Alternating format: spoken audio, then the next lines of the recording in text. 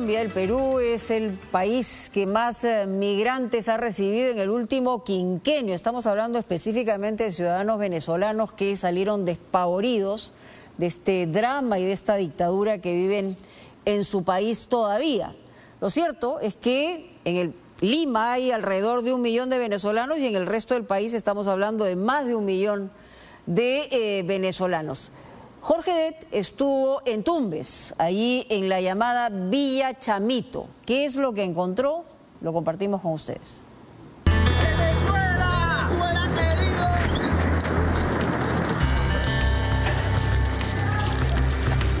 Amarilis Parra. ¿De dónde es usted? Del estado de Aragua. De Early soy de Yaritagua, estado de Yaracuín. Por la trocha de la frontera, porque como le dijimos, hay inconvenientes para pasar porque las autoridades peruanas este, están poniendo muchos parámetros. Yasmin Bolívar, de Caracas. González Herrera, de Barina. Nelly Escalona, del estado de Aragua. Bruno Morales, estado de Aragua. ¿Qué es lo que más quisieras tú? Estar en una casa. No tener que caminar más.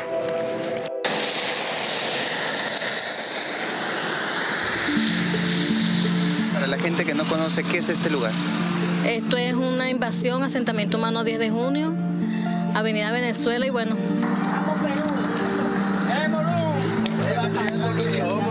La mayoría somos migrantes que venimos a luchar y bueno, gracias al Señor encontramos un terrenito y bueno, aquí estamos, dándole poco a poco.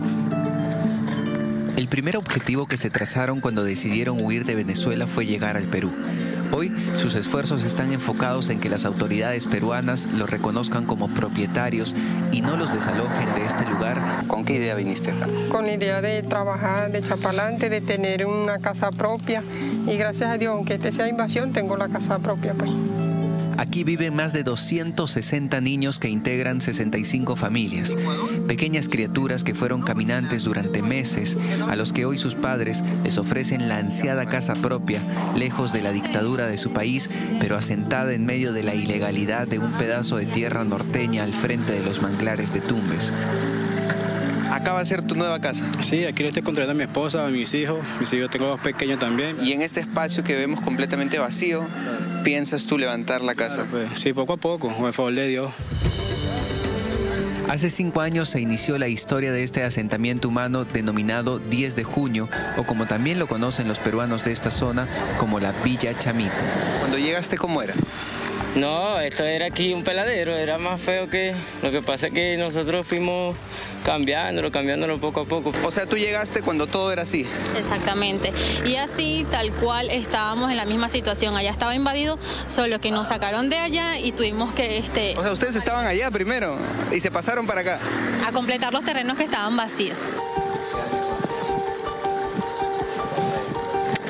La historia de la Villa Chamito podría replicarse en algunas otras zonas del norte de nuestro país, pues a tan solo algunos kilómetros de este nuevo asentamiento humano, los caminos siguen conduciendo al mismo destino.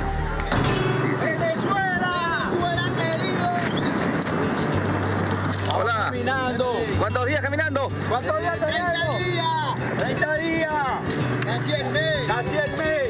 ¿Para dónde van? Perú. A Perú.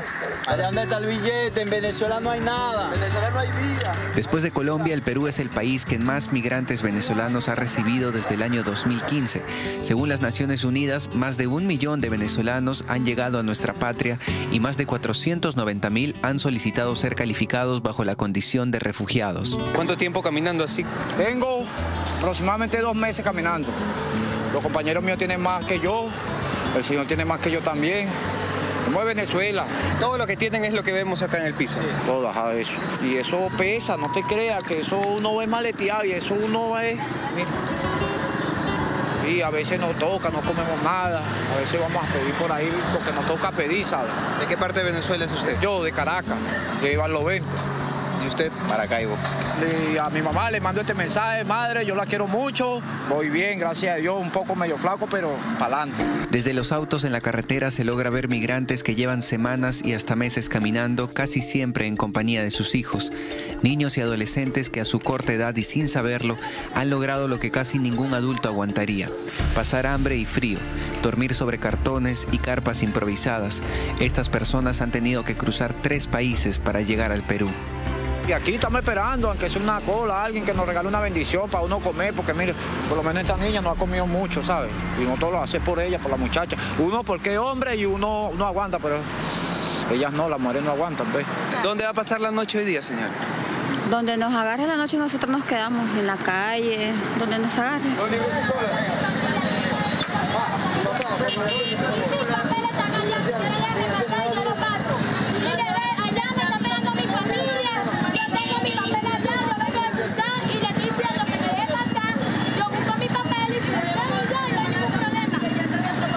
Esta semana, mientras las cámaras de punto final registraban el ingreso sin control de decenas de migrantes, como por arte de magia el resguardo policial en la frontera incrementó y por lo menos por unas horas se controló la zona. Nosotros veníamos con una gente que era de, también de peruana y eso, y nosotros no lo quisieron dejar pasar. ahí.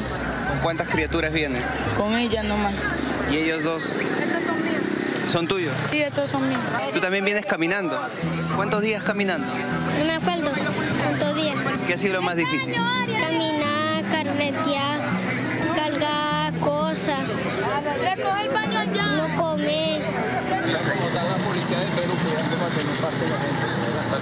Este grupo de extranjeros que llegan con un adolescente de 14 años y un niño de 10 caminan buscando una trocha por donde ingresar al Perú y así de fácil, en minutos, demostrarnos cómo logran burlar a nuestras autoridades en una zona de frontera que sigue siendo una total coladera. ¿Cuál es tu nombre? Anthony. ¿Y tu mamá quién es? Yo. Ella. ¿Usted es su mamá? Sí, yo soy su mamá. Y así viene pasando. Ahorita, por ejemplo, va a pasar por la trocha para cruzar a Perú. Exactamente, porque nos prohibieron el paso por el puente.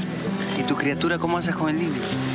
No sé, ya nosotros habíamos pasado en otra oportunidad, la primera vez que hacen esto, no sé por qué.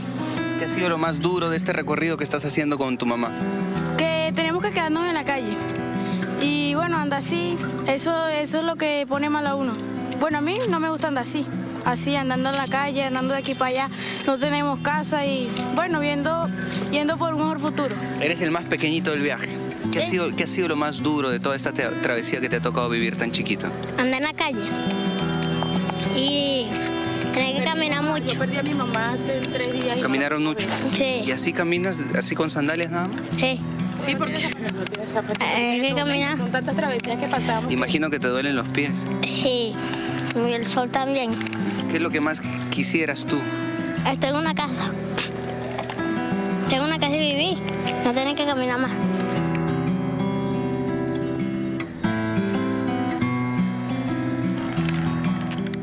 Bueno, nos han permitido pasar a esta casa. Ya estamos en uno de los terrenos que fue invadido por familias venezolanas.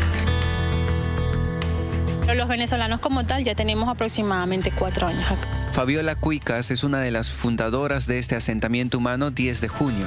Llegó hace poco más de tres años como la mayoría de sus paisanos caminando por la frontera junto a su hijo. En este espacio ha construido una casa de dos pisos, trajo a su mamá de Venezuela, se enamoró de un peruano, tuvo un hijo con él y ahora viven aquí, confiada en que si las autoridades los desalojan, tendrán que reubicarlos. Nos ha ido bien, excepto por el problema que tenemos con la luz, que este, por parte de la alcaldía dicen que no podemos tener luz porque es una invasión, porque no estamos autorizados para vivir acá, porque hay proyectos de las vías que nos impiden estar acá y eso este, requiere que, no, que nos desalojemos, pero hasta ahora no han dado una orden como tal. Y si finalmente llega la orden, ¿ustedes piensan retirarse de acá? Bueno, no, porque en, en ese caso solicitaríamos ser reubicados porque no tenemos a dónde irnos. El principal problema de este lugar ubicado muy cerca de Puerto Pizarro es la falta de energía eléctrica. Las congeladoras están vacías y el que tiene un poco más de ingresos utiliza un generador.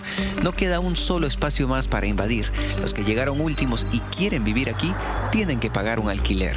Los alquileres están caros y las personas, mucha gente no pueden pagar un alquiler de 300 soles. Un cuartico chiquitico, 150, 200, con niños no caben ahí todo. Los venezolanos han tenido que aprender a pescar y con palos empiezan a fabricar postes para iluminarse. Las mujeres intentan revender prendas, poner bodegas, pero sin lugar a duda los que más sufren son los niños que viven en este lugar. Cada hogar tiene en promedio tres criaturas. Hay más mujeres que hombres prácticamente. Claro, yo he visto más mujeres. Porque hay muchas mujeres solas sin marido que trabajan en las playas vendiendo su café, su, su queque. A pesar de que estamos aquí en, en estos terrenos que no son propios, Lo que nosotros queremos es reubicación, eso es lo único que nosotros pedimos, reubicación al menos, que la alcaldesa tenga conciencia. Aquí no hay colegios y tampoco acceso a la salud. Los más pequeños no tienen al día su cronograma de vacunación y en algunas ocasiones son los propios padres los que se organizan para enseñar materias básicas a los niños, pues la prioridad por estos días es tener algo que comer y ponerse firmes para que nadie los desaloje. Y bueno, aquí la mayoría somos venezolanos migrantes que venimos de nuestro país por la situación de crisis económica y bueno, gracias al Señor aquí encontramos aunque sea un terrenito cada quien y ha podido tener su casa que en Venezuela no la teníamos. ¿Qué va a pasar si en algún momento la autoridad dice, sabe que esas tierras son invadidas, tienen que retirarse? Ay, ahí no sé, eso no lo hemos pensado todavía, no sé. El asentamiento humano 10 de junio es el rostro de la migración venezolana que ha encontrado en el Perú su segunda patria. Sin embargo, la pregunta ante esta realidad es clara. ¿Qué hará ahora la autoridad con las 65 familias y más de 250 niños que hoy viven aquí, si fue la propia autoridad la que permitió que esto ocurra?